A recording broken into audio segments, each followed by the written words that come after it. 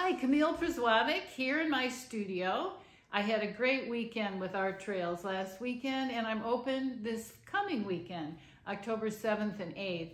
And I just wanted to remind you that Petaluma is a great place to eat, to have lunch, and to take hikes. Um, I would definitely recommend Shollenberger Park. And I'm going to show you a few paintings. I even have paintings of a lot of these locations.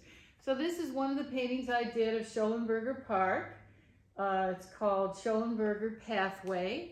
And then this is another painting that I did of that saints. Uh, it's a, a, uh, bird sanctuary. Great place to walk.